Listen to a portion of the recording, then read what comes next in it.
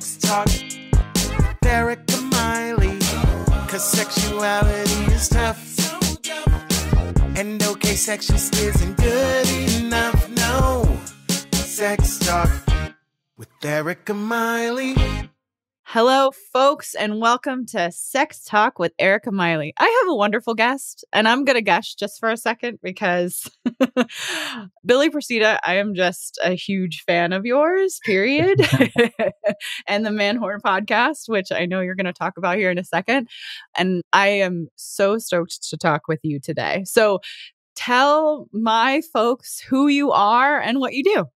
Uh, hey, I am uh, Billy Procida. I'm a stand up comedian in New York City, and I do this show, uh, a silly little show called the uh, Man Whore Podcast, where I talk, to, I typically talk to women I've hooked up with about sex, dating, and why we didn't work out. Which is amazing. One of the things we were talking about just a second ago is something that Billy does on this show is that he is incredibly sex positive and focuses on consent a lot, which I think is amazing. So, like, when you started this podcast, what did you think was going to happen?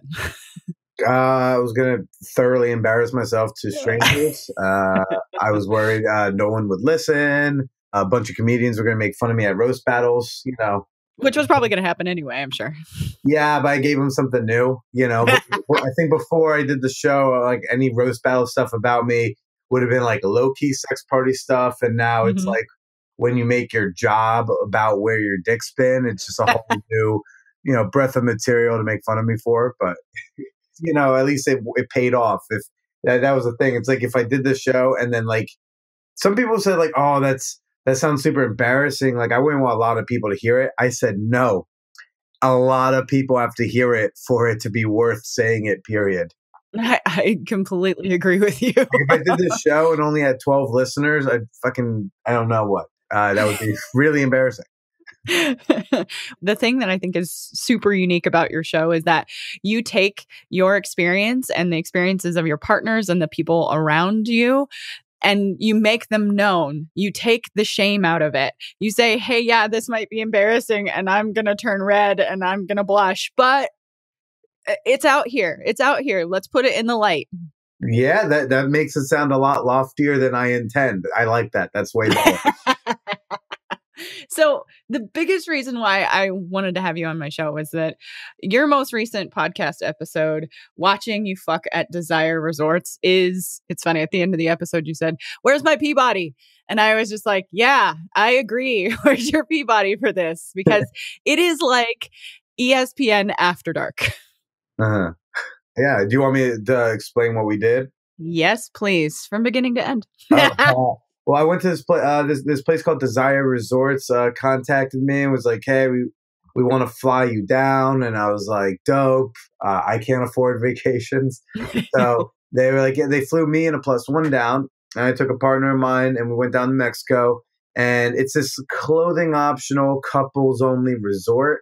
It's lifestyle friendly marketing gave me a list of words I'm allowed to use and a list of words I'm not allowed to use. Fair. But it's it's a resort where there's a lot of people in the lifestyle, but also a lot of monogamous couples looking to try something sexy and different, nudist couples, stuff like that. And we did an episode where I found a couple to fuck in my suite.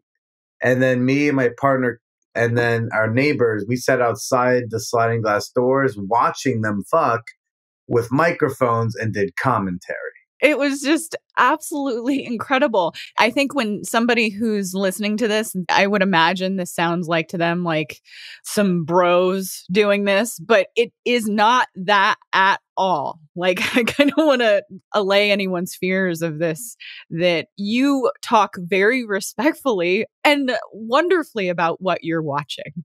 And yeah, anything I do seems to have to come with a lot of caveats in, in that it's not like a bro thing. That's kind of frustrating, but I also have the face that I have, so mm. I get it. So, one of the things that I heard you saying throughout the episode, and I think if you're not on Billy's Instagram, jump on Billy's Instagram because he does lots of fun stuff there. I think one of the things that I appreciate about you the most is that you are constantly going back to consent. And that was one of the big things you talked about in this episode. Yeah, totally. I definitely did that if you say so. And when I put these episodes out, so I mean, I think like after a couple of days after it goes out, like whatever I talked about is just out of my head. Totally forget. Is I'm man, this was uh done 232 of these things plus like another hundred or so bonus episodes. So like I can't keep track anymore. But yeah, right? I probably talked about consent at some point. It's a kind of fun topic. You had mentioned that, like, when someone was thinking about booking at Desire, that you're like, that it would be a fun couples retreat for you and whoever you want to take with you. And it's probably something you want to get, you want to check out with them first. I mean, look, it's a fun surprise. Like, it's a funny prank. Yeah. Like, at bare minimum, like, if you brought someone to Desire who didn't know, like, it was a clothing optional place, you know that's that's a funny gag. I, you know, there's there's a couple who I interviewed, and that's exactly what happened. It's kind of funny. It's a risky prank because that could cause you to need to go see a, a couples counselor afterwards if she gets pissed enough. But it's definitely something that I would advise you clear with the person beforehand, so you have less hiccups. But there was a couple who like they the husband booked the vacation, but he didn't tell her what it was. Like, no, just pack really, really light like how light? Like, you know, we just need cover up for the restaurant. No, he didn't say that, but uh I thought that was a, a funny gag. Yeah, no, I think it's always good to like clear stuff with people. I think it makes things I think it makes sex less awkward than sex already is. Yeah. It's like, you know, why why make things less awkward by trying to talk someone into something they don't want to do? You know, I don't know. You ever have like a guy try to sell you a car you don't want? Mm-hmm. Imagine now you're naked and trying to maintain an erection. Like that's doesn't seem pleasant to me. Right. When you are able to make your intentions clear, you are offering trust on the table. You're putting trust on the table. You're you're making somebody feel like they weren't coerced. And I think that all on its own can be sexy. Yeah, you know, not raping is pretty hot. it's absolutely true. I mean, I mean, especially I think I'm going to do an entire episode about this, especially in the climate that we have today. I mean, we're actually watching people on TV say terrible things about somebody who was sexually assaulted. in confirmation hearings for somebody who's going to be on the Supreme Court. So the more we can in common language every day ask for permission and make it sexy and not so scary, the better. Yeah, I agree. So, the other thing is, a lot of my listeners, I think you and I were talking about this earlier, is that there are many people who don't understand the lifestyle. They don't understand poly or they don't understand non monogamy or they're brand new to it and they don't know how to find their people. If you had resources or if you had like books or even blogs whatever the case may be, what would you suggest to somebody who's trying to connect with the community? I'm in a different position, maybe call it a comedian privilege, where, mm. you know, I don't have to worry about my job because talking about this stuff is my job. Right. And it's it's kind of been that way since almost my entire adult life because I've been uh, doing stand up comedy for an embarrassingly long time. So I can share stuff on the internet and it's fine. I can put myself out there. So I would tell someone like, oh, you're trying to find more like kinky sex party, poly people, whatever your thing that you're looking for is, just put it out into the universe.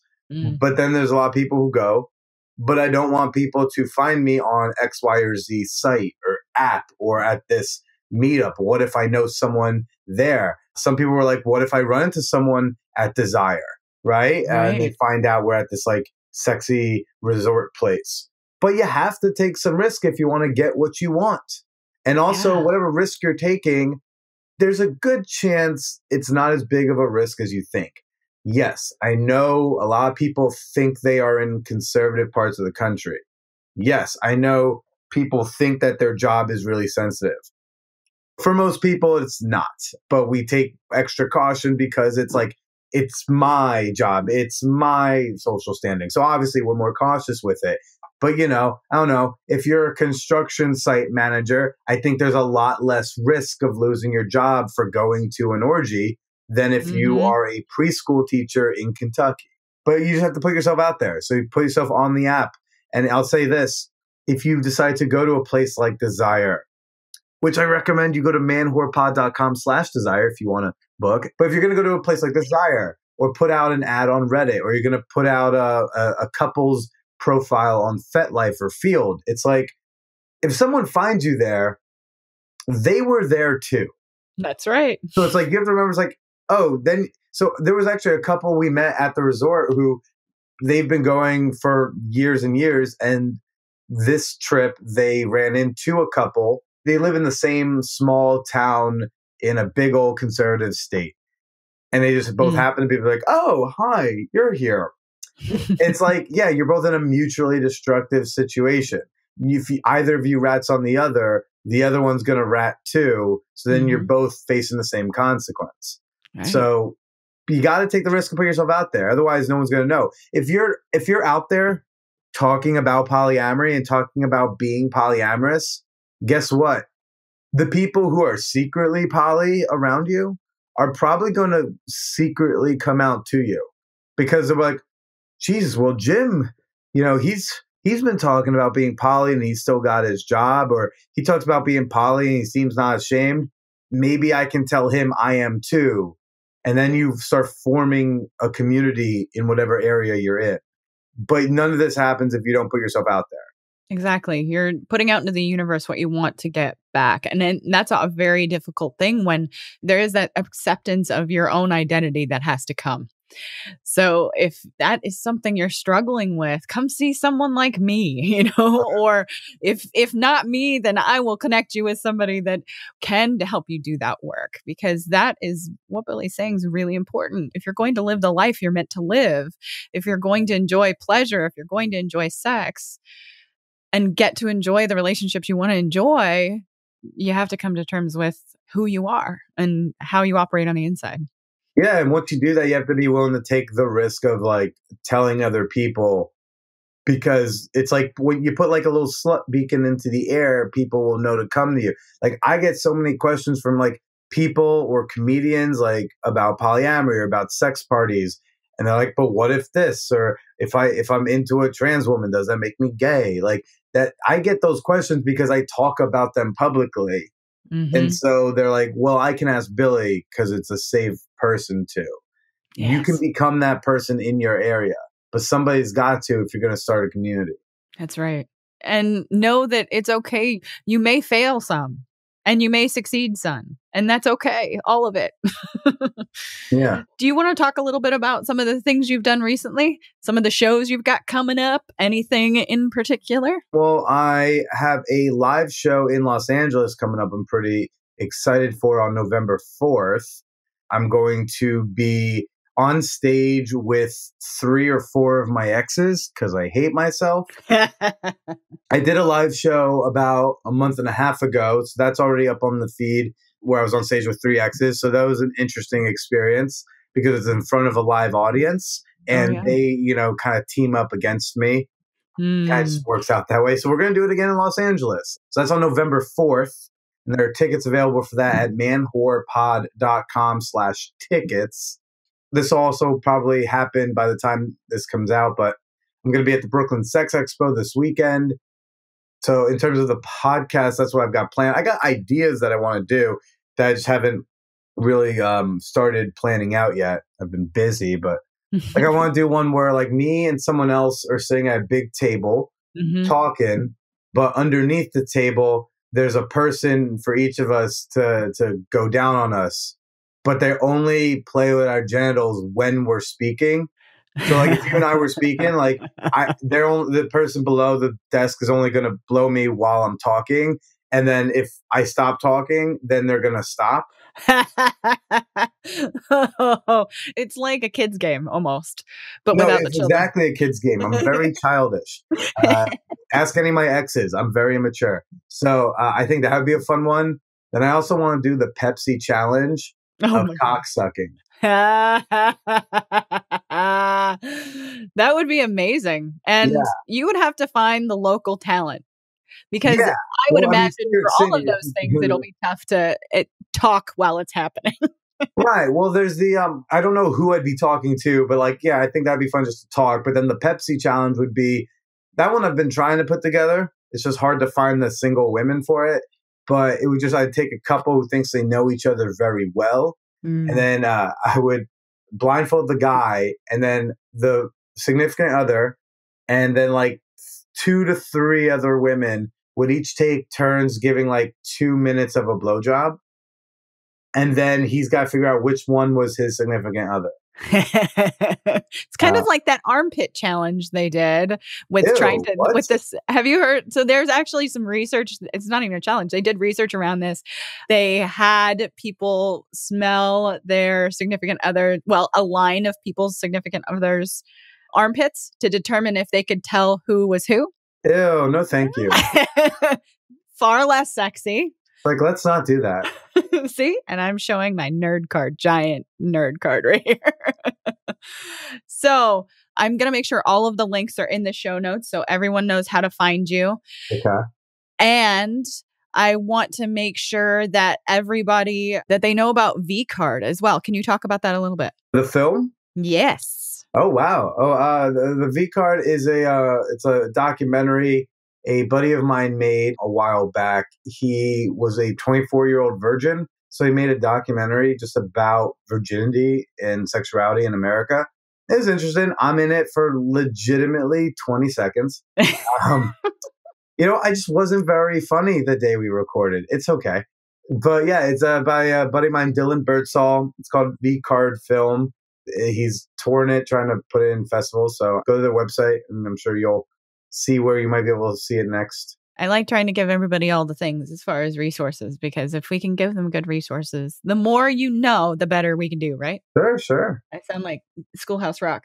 Uh, so I will make sure everybody can get in touch with you. Is there any other takeaways you want to give to the audience, Billy? Nah, just go check out the Man Whore podcast wherever you're listening to this podcast, and then I'm uh, I'm on Twitter and Instagram at the Billy Procida. That's P R O C I D A. Thanks everybody for listening to us today. We will see you next time. Thanks for listening, folks please rate and review on iTunes. That helps this podcast get found. If you leave a five star review, let me know about it on any social media and I'll shout you out on the podcast. You can find my website at erikamiley.com. You can find me on Facebook, the Gram, and Twitter. See y'all next time.